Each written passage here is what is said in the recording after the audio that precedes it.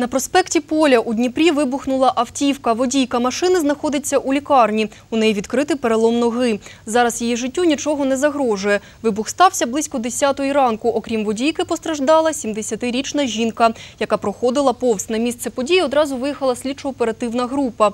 Експерти намагаються встановити причину вибуху. Як повідомляють працівники Національної поліції в Дніпропетровській області, за фактом вибуху порушене кримінальне провадження за частиною 2 статті 15 «Замах на злочин» і частиною 2 статті 115 «Умисне вбивство» Кримінального кодексу України.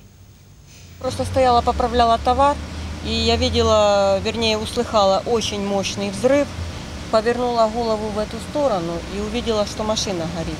Э, Муж сразу взял огнетушитель вот, под машиной и начал тушить. То есть он первые секунды сразу потушил. Вибух стався якраз метрів за 10-15 від того місця, коли вона від'їхала з місця паркування у дворі.